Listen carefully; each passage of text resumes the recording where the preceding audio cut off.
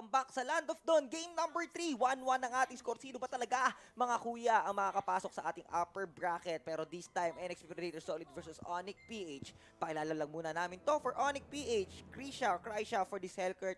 Jay naman for this um, Kufra. Kufra. Yuki naman for Xborg. Oh My Venus for this uh, Farsa. Farsa. And Wise for Harriet.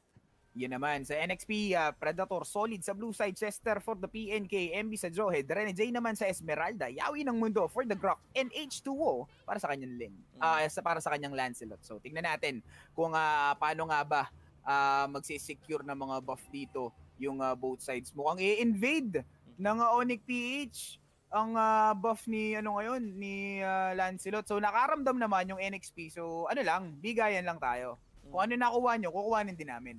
Kaso ang problema, may red buff pa yung Onyx PH. Palitan Ah, lang, no? Sa Mm. anuhan lang din kung sakasakali. Pero eto mga kaibigan, so far um, okay naman din parehas. May naka si Wise dito, naka si Cure, pero yun nga lang mga best. Uy, meron pa mas naunang death doon sa top lane, kabilang banda. That's gonna be an off-cam kill. Eh, nabigyan si Esmeralda, na di natin napapansin doon. Si Renny J pa lang gumagamit din dito ng Esmeralda. So, most likely, kakaiba ang ah, magiging playstyle this time ni Renny J. Ah, Oo, for na bouncing ballan yun, tapos Hindi burst down yun, ah. agad. Din yung ginawa ni Krisha dito, or uh, Krisha. Dahil meron nga siyang iron dry, mas malaki yung chance niya. Pero ito na nga, yung sinasabi nating level 4, minamaximize na ni Wise yung paggamit ng harit niya dito sa ating game number 3.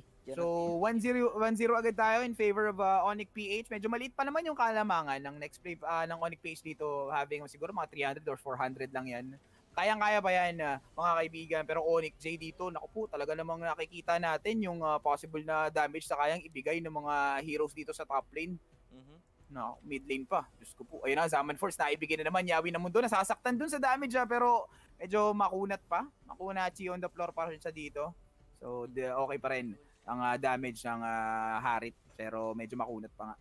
Mm, Tama ka din dyan, Kuya Irv. This time, 1-0 lead pa rin tayo. Still in favor of Onyx PH. 2 minutes and 20 seconds out to our game time. Eto na, ang uh, magiging sagot ba ng NX Predator Solid pagdating sa killing score. Naku po, si Yuki binalikan ulit sa pangalawang beses pero na-cancel ang ulti dito ni H2O and that, that's gonna be a failure of uh, Uy, si rotation. papatay to, pa. sa bilang banda. Naku po, sa top lane lang din, mga kaibigan. Tumipi na lang, pabalik sa base. Oh, my Venus, together with uh, Cook uh, J, eh, alisa na, mamba out na muna. Mga bestie, wap, mahirap na. Mhm, Ang objective naman ngayon yung NXP kasi alam nila kailangan nila 'to eh, para ma-open agad yung isang linya.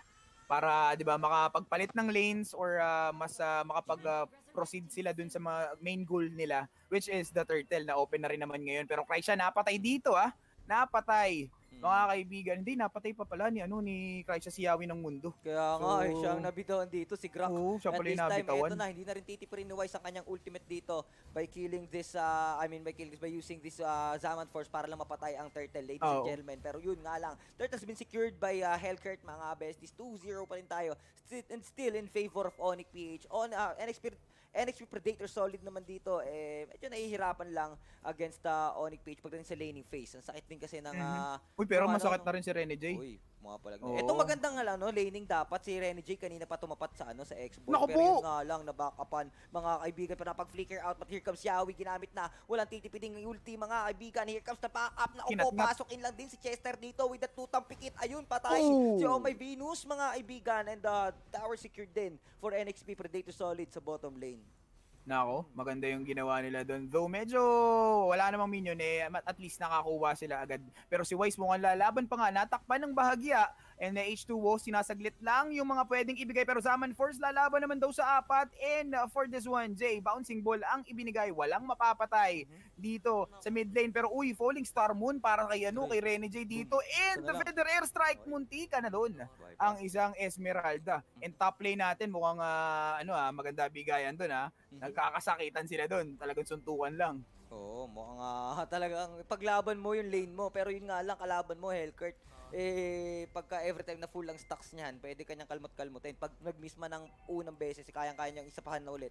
Mabilis lang din ang cooldown. Ito na, babasagin na nila ang ah, Oo. first tower naman din sa top lane. Pero sa bottom lane, ganun. Hindi lang di makukuha. Ay, basag na rin pala. So, parehas tigisan Torre, mga kaibigan. na 5 minute game time tayo. Wala pa masyadong action tayo nakikita dito. Ako po, tingnan natin na kung uh, magbibigay na nga ba ng aksyon dito ang magkabilang team o papabayaan lang nila mag-farm muna yung mga ano. Pero, uy, Feather Airstrike, nag-connect Chester, isang tira na lang. Wild charge coming from Yawi ng mundi dito. Venus makakawala dun sa sakit na yon pero Krisha napatay na naman si MB and babaka pa nga sa mid lane mga kaibigan and ayun double kill para sa kanya. So tuloy-tuloy yung pera ngayon ng uh, Onyx PH pero Yuki na si H naman dito kaya pang magbigay ng damage pero eto na naman si paring J na huli Chester and the bouncing ball para sa kanya. Angat kung angat ang pera ng Onyx PH ngayon. Grabe, mga kaibigan. 1-5 ang score natin dito. 5-minute game time. Tulad sinabi natin, hindi nga masyado puno ng aksyon, pero grabe din naman pagka dating dito sa ano, pagka nagbi- nagkakatagpo, eh talagang wala nang sinasayang na panahon. Pitas-pitas na tayo, little by little. Pa isa-isa man lang ang pinapakita, pero sulit kasi nag, nagiging objective ang bawat kill na, pinapa, na nakukuha dito ng Onyx PH. Oo, so uh, kanina naka, unang nakalamang sa Torre Mm, ang NXP. NXP, Ngayon oo. naman, dumalawa na yung Onyx PH Oo. and mid lane pa yung nakuha niya. So naging maganda nga pero kinagat ng Mhm. tutang pikit na lockdown pa Aray. nga siya doon na pero. Feather Airstrike hindi ibibigay. Mukhang na, uy, teka lang, napatay pala nung ano, ni sa mid. H2 yung ano ha. Yung uh, si Yuki. yun, So ah, Zaman pero- Force inilapag. Tingnan Oo. natin kung makakasayaw nga ba si Waze dito. Po, Tower mga lang. objective na naman. Mhm. Ooh, Grabe, Arena pa- J din naman sa bottom lane. Ayun. Ganun din, objective, objective lang din naman. Trade So, lang, uh, trade lang, trade lang. mm, So, trade lang, trade lang. pa isa-isa man or ah, pa isa-isa or hindi man gaano puno tayo ng patayan dito ng KDA score 2-5 pa lang ating score pag sa 6 minute game time. Eh grabe naman yung basagan ng Torre. Kumbaga na dito na kagad at kalbo na kagad yung top lane ng NXP tapos inubos na rin ang Torre dito ng ah, Onyx PH sa bottom lane. Malingat ka lang ng konti diyan baka magka, mag, ang mangyari pa diyan magka-segue yan. Ayun na nga, speaking of lingat mga kaibigan, medyo nila pag yung Zaman Force, kinagat ng tutang pikit, hindi makakagalaw mga kaibigan. And Chester receiving damage from Wise, pero hindi yun naging sapat para mapatay niya yung isang PNK doon. Bali wala. 7 minute game time pa lang tayo mga kaibigan. Ay ayun, kukuha na naman ang Onyx page dito ng another objective sa bottom lane. The think NXP, hayaan na lang din muna nila.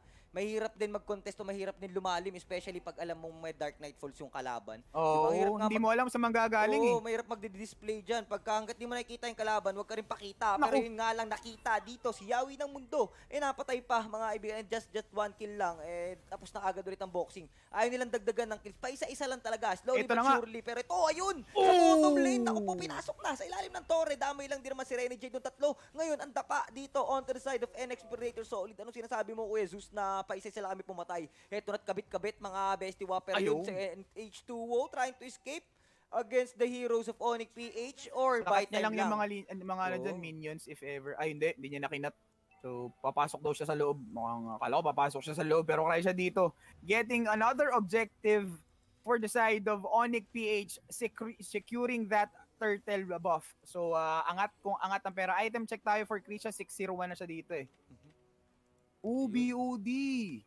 Nako, 6.5k ang kanyang pera. Almost kalahati yung ng ah, pera ng mga players dito ng ano ah Mhm. ng uh, o 3K lang yung PNK. Though support lang naman talaga yun. And uh, si Joehead naman 3.5K. So medyo malaki pa rin yung pera talaga ng uh, isang Hellcurt sa pagkakataon na to. And especially Wise, papalag at papalag din pagdating sa pera. 6K na rin siya dito. Mm, tama ka nga dyan. And uh, for this mga kaibigan, eh, pinapilit ng pinapalit na ngayon ng Onyx PH ang uh, based of vision dito ng NXP. Sa bagay, nasa kanila yung lamang eh. Ang ganda ng uh, performance ng Onyx PH for the early stage ng game. Nag-stand Mhm. out ang Harith nila compared naman dito sa Lancelot ng, ano, ng NX Predator Solid. And this time, sobrang uh, minamaximize o kinakapitalize nila. Kumbaga, maxi-wise.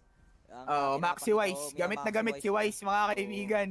So, and uh, nakita mo kasi yung ano, yung uh, vision na kayang i-provide o yung space na kaya i-provide ng ano ng isang uh, Farsa dito. Pero ayan na naman, mga kaibigan ng Feather Airstrike, hindi sila makalapit though meron silang PNK na pang-agre dun sa mga heroes. Mhm. Malaki pa rin kasi talaga yung possibility. Eto, yun na nga, nabigyan pa ng dalawa Zaman Force and uh, X-Bor giving that last insanity. Napatay pa yung dalawang players dito. Samantalang wala pa rin nagiging casualty sa kamay ng Onyx PH. Mga Mhm. kaibigan, Kompleto Wise pa. nasa loob pa nga rin pero Chrono Dash palabas. Grabe. Ito rin ang uh, kinaganda din dito for this Onyx PH. Pero yun nga lang, si Jay pumasok Uy! din. Mga kaibigan, mukhang damay na lang din mga besties. Pero killing spree naman din pala sa bilang banda. Si H2O kumuha lang din ng isa by killing that Kufra. Pero yun nga lang, po. nagkakabitawan na din dito sa loob loob ng base. Pero baliwala for Onyx PH. Kayang tangkihin na the tower secured or third tower secured dito by Onyx PH. Napush, napush na nila sa middle lane, bottom lane at top lane. Mukhang papasok in lang din naman si po. J.